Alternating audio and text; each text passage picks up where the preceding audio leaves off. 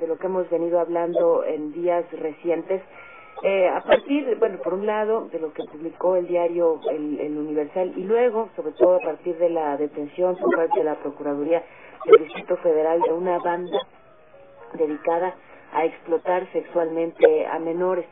Esto en el centro, en el centro eh, histórico de la Ciudad de México, leíamos también en la Alameda, eh, tipos que llegan y que de diferentes maneras enganchan a los, a los niños y a las niñas, en algunos casos los, los convencen porque les mienten, eh, en otros casos los orillan y en otros más de plano los, pues se los llevan por la fuerza, ¿no? Y, y, el método es, es espantoso, es volverlos adictos a alguna droga para tenerlos enganchados y para poderlos eh, explotar sexualmente eh, pues de manera más pues más sencilla es, es tremendo de verdad lo que pasa con estos con estos menores y eh, pues para nadie es un sujeto que ha crecido de manera importante en los años recientes y que México se ha convertido en un destino para el turismo sexual estamos atrayendo a ese tipo de, de turismo yo le agradezco mucho a la diputada Rosy Orozco, secretaria de la Comisión de los Derechos Humanos en la Cámara de Diputados, que está en la línea telefónica. ¿Cómo le va, diputada? Buenas tardes. Muy bien, Paola, muchas gracias y buenas tardes a todo el auditorio. Diciendo que usted está proponiendo un modelo de atención a las víctimas de explotación sexual infantil eh, a través de la creación de una comisión especial sobre trata de personas. Explícanos. Sí, Paola, fíjate que siempre he dicho que este fenómeno es como un monstruo de varias cabezas y una de las cabezas muy importantes es poder tratar con toda dignidad humana a estas víctimas y poderles proporcionar todo un modelo de atención que les de verdad les levante la autoestima, pero también que les ayude a reinsertarse a la sociedad.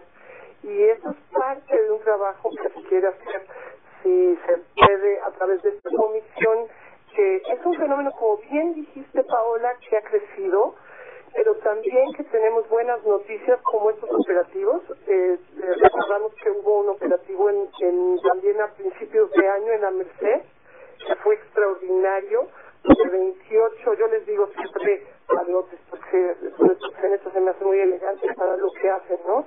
Son padrotes y 28 fueron eh, aprendidos y fueron 45 las víctimas que fueron liberadas. Ahora, este nuevo operativo tan extraordinario de 14 padrotes son buenas noticias para la, para la gente que queremos ver a nuestros niños protegidos, que queremos los hijos de todos estén, eh, eh, bueno, eh, la gente que está dedicada a este negocio hoy está viendo a una procuraduría en el DF dispuesta a hacer varios operativos y también la buena noticia de que con el Procurador General de la República, el eh, Arturo Chávez, él viene con también con toda una eh, un proyecto para realmente hacer algo muy fuerte a nivel nacional. Ya era hora, de verdad que, que ya era hora. Eh, sabemos que los más vulnerables son los menores que viven en situación de calle, que no tienen a nadie que los defienda, a nadie que los busque, a nadie que pelee por ellos. Pero ojo, eh, porque están en riesgo también todos los niños. Sabemos de tantos casos que a través de, de Internet y de redes sociales y de, en fin, eh, logran generar con ellos alguna relación primero virtual y ya luego real y de ahí, pum, eh, también se los llevan y los incorporan a, todas estas actividades deplorables, diputada. Pero a ver, ¿cuál es el, el trato, cuál es la atención que se brinda actualmente a las víctimas de explotación sexual infantil y cómo sería diferente a partir de la comisión que usted propone. Mira, por ejemplo, ayer platicaba yo con una de las primeras ministerios públicos que, bueno, me salí con el corazón rebosando de felicidad, porque de verdad cuando los ministerios públicos se entienden, por ejemplo, desde el primer momento, vamos a suponer que en estos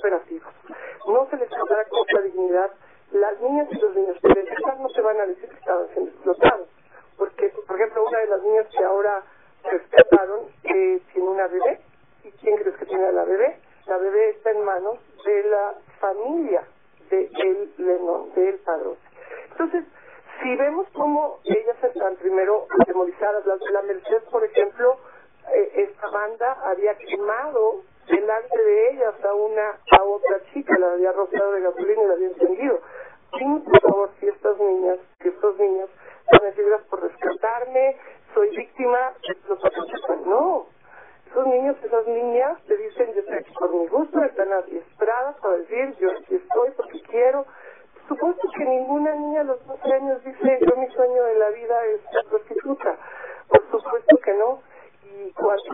están restauradas, te dicen, yo lo que quiero es jugar, yo lo que quiero es tener amigos, yo lo que quiero es, es realmente reír y estudiar, pero sí es es muy importante, por ejemplo, los ministerios públicos, esta mujer que de verdad me parece un ser humano extraordinario, eh, ella, pues, eh, eh de la manera como entrevisten a las niñas, tiene que ser muy cuidadosa, no pueden estarles amenazando, re, revictimizando, y mucho menos decir, a ver, justicia prostituta. ¿Cómo? Si es una niña de 12 años, si está saliendo de ser víctima. Un día, por ejemplo, Paola platicando con una niña que fue vendida, este es otro de los casos que, que ocurre en algunos lugares del país, todavía esta práctica es común, y esta niña que fue vendida por fin un día pudo escaparse. Y tristemente, los policías cuando salió teniendo 13 años, la esposaron, le dijeron que se drogaba, la maltrataron, le, le quitaron su blusa, este, su brasier, y de veras que esas cosas en México ya no pueden pasar. Nuestras autoridades están cambiando, me da mucho gusto la plática que tuve con el Ministerio Público, el operativo que se hizo, decía García Espinosa de los Monteros, extraordinaria la labor que está haciendo, la manera como lo está haciendo, y ahora pues empezar a ver modelos de atención también para poder reinsertar a las niñas.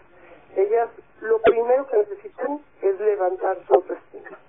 Tiene que ser una, una primera, eh, ellas se sienten basura, ellas primero algunas tienen que salir de drogas, obviamente tienen una vergüenza horrible de ver a su familia. Es, es de verdad una labor muy minuciosa que tiene que tener vocación la persona que, que quiera ayudarlas, ¿no? Y, y de acuerdo, ¿quién tendría que encargarse de ello? ¿Qué institución?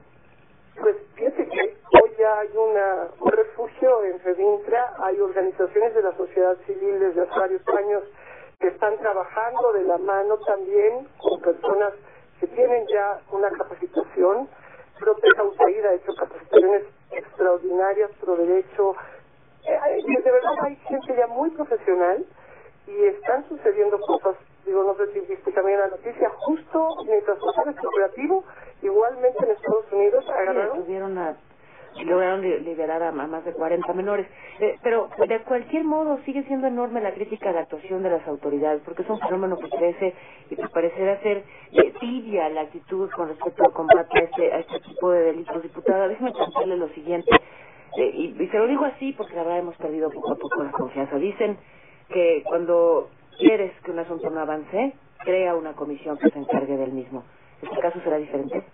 Bueno, pues yo creo que desde tengo muchos años de trabajar en este tema y cuando no pude hacerlo de parte de la sociedad, entendí que tenía que hacerlo de otra manera. Y estoy avanzando. Cada una de las cosas que más me emociona es que este tema no tiene partido, ni tiene ideología, ni color. Y la verdad es que hemos encontrado de parte de todas las bancadas una total apoyo si por algo no avanzan las cosas en las comisiones es porque son temas polémicos, son temas eh, que tienen... Pero no este Bueno, pues nos arrolló un poquitín el, corte comercial, pero ya básicamente había dicho lo sustancial la diputada panista Rosy Orozco de la Comisión de los Derechos Humanos de la Cámara de Diputados en torno a esta su propuesta de crear una comisión para atender un asunto que, nos preocupa, que nos preocupa a todos, la trata de personas, el, el abuso sexual en contra de menores y que reciban la atención adecuada las víctimas de estos de estos delitos. Un asunto al que le daremos, por supuesto, seguimiento.